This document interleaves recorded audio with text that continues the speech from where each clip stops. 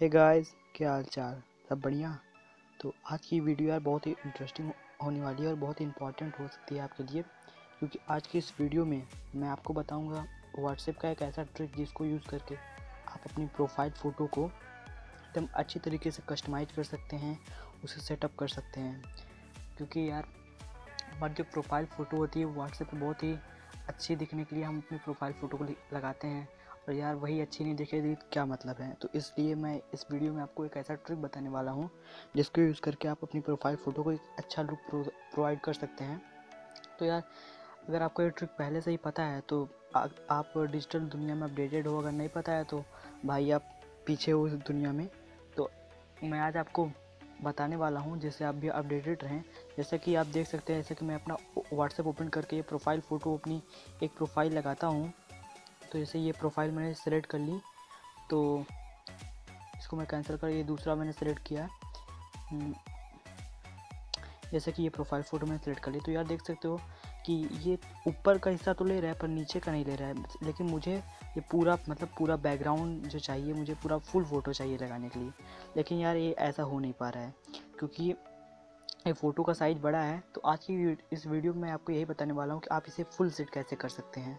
तो इसके लिए आपको बस एक एप्लीकेशन डाउनलोड करना होगा, जो कि बहुत ही कम साइज़ का एप्लीकेशन है। इसका लिंक मैंने आपको डिस्क्रिप्शन में प्रोवाइड कर दिया है, आप वहाँ से डाउनलोड कर सकते हैं।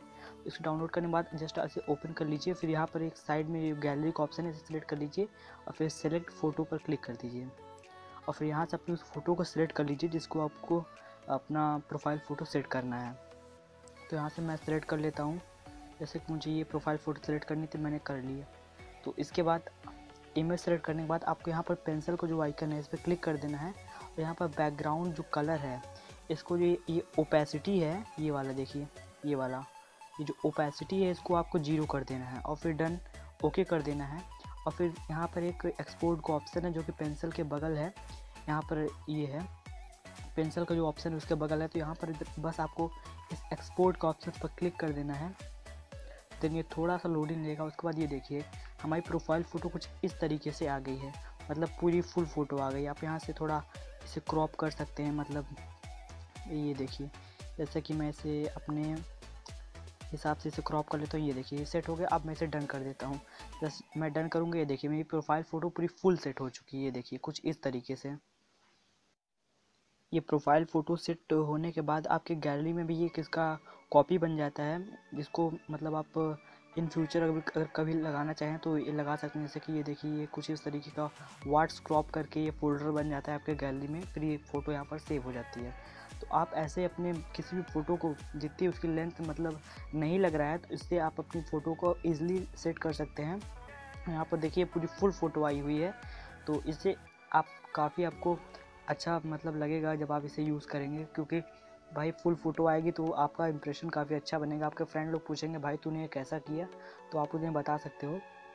तो यार, आज का वीडियो अगर आपको पसंद आई हो आज की तो वीडियो को लाइक करें चैनल को सब्सक्राइब करें और आपको अगर ऐसी वीडियो चाहिए तो आप मुझे कमेंट करके सजेशन दे सकते हैं कि मैं किस चीज़ पे वीडियो बनाऊँ। तो मैं उस चीज़ पे वीडियो बना के आपको पूरे ट्यूटोरियल आपको बना के दे दूँगा, जिससे आप उस चीज़ का यूज़ कर सकते हैं। तो मिलते हैं अपने नेक्स्ट वीडियो में। So good bye Vande Mataram.